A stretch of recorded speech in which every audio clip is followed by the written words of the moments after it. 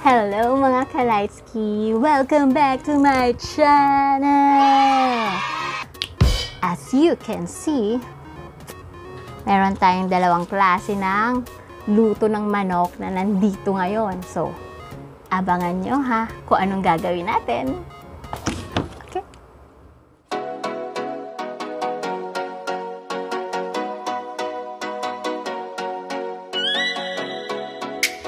So, welcome back guys!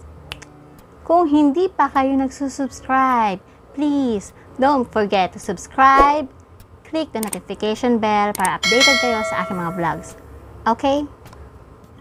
Okay guys, as you can see right now, we have two different kinds of uh, luto ng chicken. There. So, syempre, kilala nyo na itong hawak ko sa kabila. The ever popular, everlasting chicken, Joy, ng chicken ng Jollibee. So, I will be introducing uh, bagong luto ng chicken courtesy of Joaida Monterde. Woo! Okay guys, eto siya. There. Diba? So, I call this chicken, chicken ni Joy.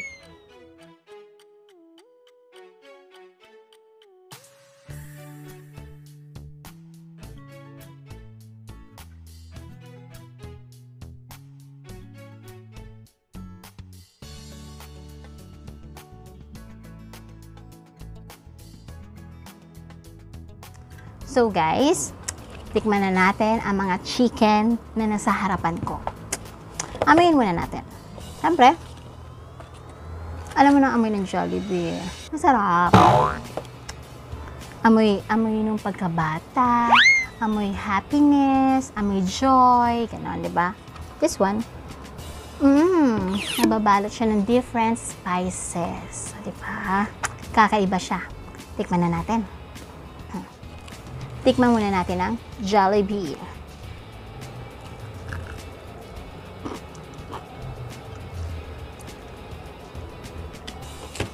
Siyempre, hindi mawawala yung gravy ng Jollibee. Diba? Tawsaw natin. Mmm. Mmm. Mmm. Mmm. Mmm. Mmm. Iba talaga. Iba talaga lasa ng Jollibee. So, now, kilala niyo na lasa nito eh. Sino bang hindi dumaan sa pagkabata na hindi nagja-Jollibee, di ba? So, this time, Joy, salamat sa manok. Ano natin siya. Sa marunong kumain pag buong buo. There you go. No, nabalatan na siya. Yeah.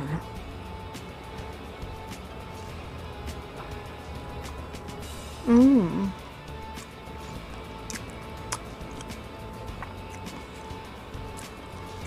Okay. Mm. Describe ko yung lasa para sa inyo guys, okay? Mmm. Chicken and Joy. Punong-puno ng herbs. Lasa mo yung different spices. And nanuot talaga sa loob niya. I will be describing this guys kasi ito, alam mo na lasa nito. You don't have to describe this. Kilala na natin lahat to. So this one, ang chicken and joy. Katrabaho ko yun eh. Na nagluluto-luto siya. Sarap siya magluto. Mm. This was cooked on turbo. Na-marinate na siya mula kagabi. Dinala niya sa akin kanina. Mmm. Sarap. It's juicy. Juicy inside. Tapos, of course, dahil turbo, iba naman yung texture ng kanyang skin ng chicken. There you go. Kitang-kita mo yung spices na nilagay, guys. There. Mm. Okay. There you go. Mm. So, I will tell you something.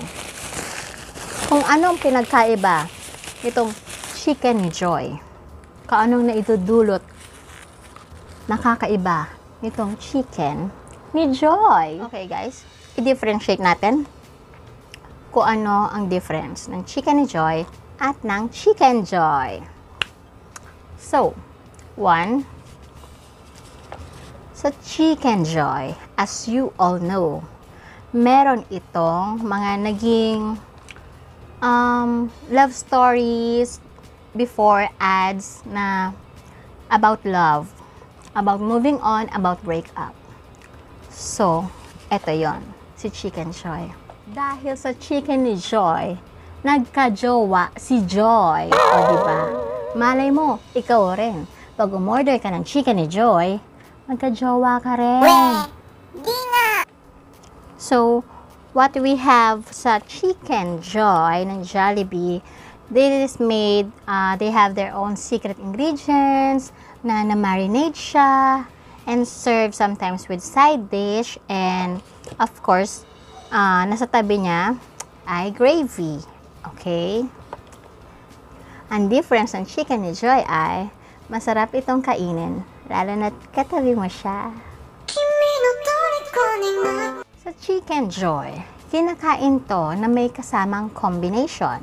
Minsan ang combination niya ay spaghetti, minsan ang combination niya ay french fries, di ba?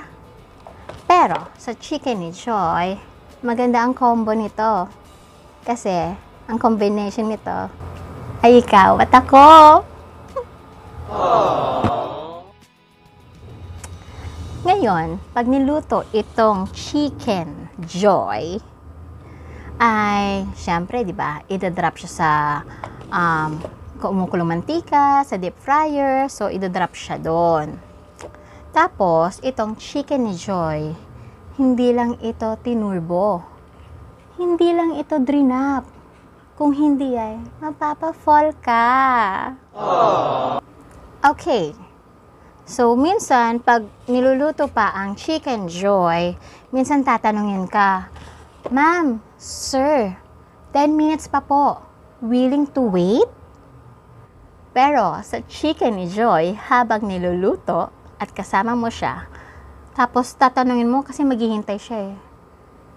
Willing to wait ka ba? Nagluluto pa ako eh. Siyempre, sasagot niya sa'yo. Handa ako maghintay. Kasi mahal kita.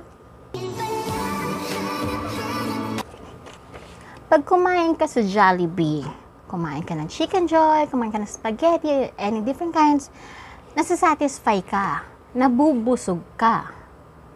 Pero, pag kinain mo ang chicken ni Joy, mapapasabi siya sa'yo na, ikaw lang, sapat na.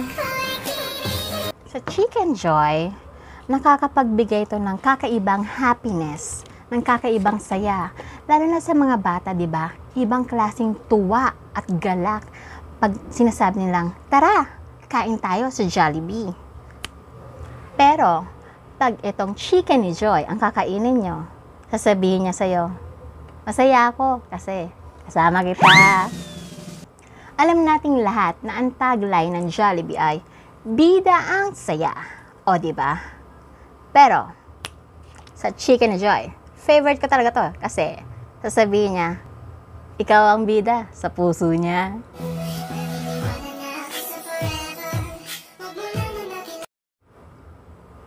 So, ayan na guys, nailatag ko na sa inyo ang difference ng Chicken Joy at Chicken ni Joy. Kaya, kayo na lang bahala kung anong gusto nyong tikman, kung ano yung gusto nyong kainin, ang Chicken Joy ba o ang Chicken ni Joy.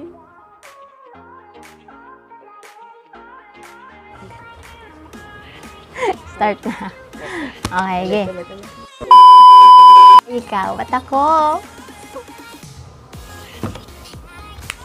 Post mo nga, natatawa sa sarili ko. Fall ka.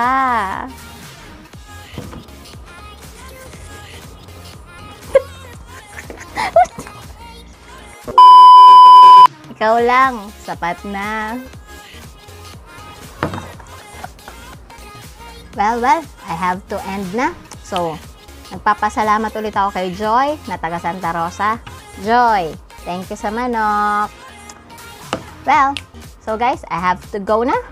So, kung hindi ka pa nag-subscribe, so please click the subscribe button and the notification bell para updated ka sa aking mga vlogs, okay? Click and subscribe and like and share. Comment below. Bye, guys!